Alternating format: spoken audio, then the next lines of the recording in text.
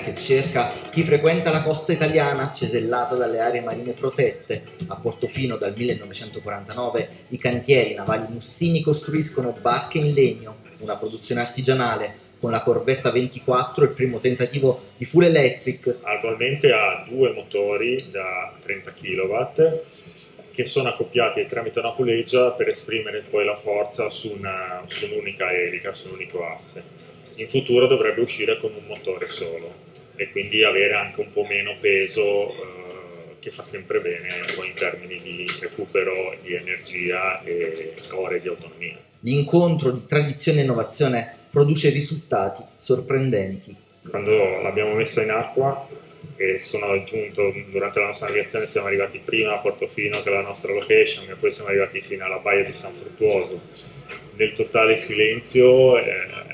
è un, una sensazione che fa venire i brividi perché il mare ci ha dato tanto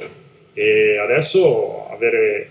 un po' di fortuna di poterlo rendere qualcosa al mare, a dire ci siamo ma non ti inquiniamo, non ti creiamo un danno, comunque è una piccola soddisfazione quella.